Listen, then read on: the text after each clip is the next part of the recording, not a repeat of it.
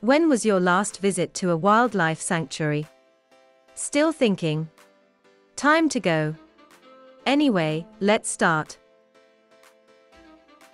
The dusky moorhen is a bird species in the rail family and is one of the eight extant species in the moorhen genus.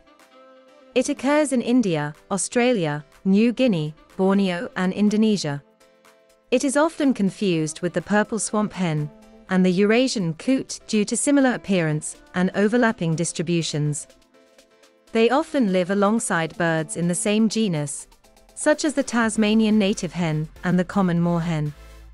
It is a medium-sized bird, slightly smaller than the purple swamp hen. The adult is mainly dark gray-black, with a browner tinge to the upper parts. It has a red frontal shield and yellow-tipped red bill like its Eurasian relative, but lacks the white flank line shown by common moorhen, and has orange-yellow rather than yellow legs. The Australian subspecies is larger and pager than both other subspecies. It feeds both on land and in water. Its diet consists of seeds, the tips of shrubs and grasses, algae, fruits, mollusks, and other invertebrates. It will also consume carrion, bread, and droppings from birds including gulls and ducks. The chicks are fed mostly on annelid worms and mollusks, with plant matter gradually being given in increasing proportions by the parents as the young mature.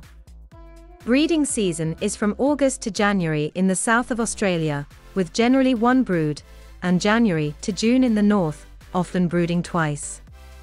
This species builds a bulky nest of reeds or grasses at the water's edge, or a few centimeters above the water, often at the base of a melaleuca, and lays a clutch of 5 to 11 matte whitish eggs that are covered with red-brown dots and splotches.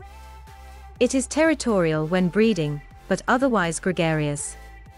It may nest alongside the purple swamp hen.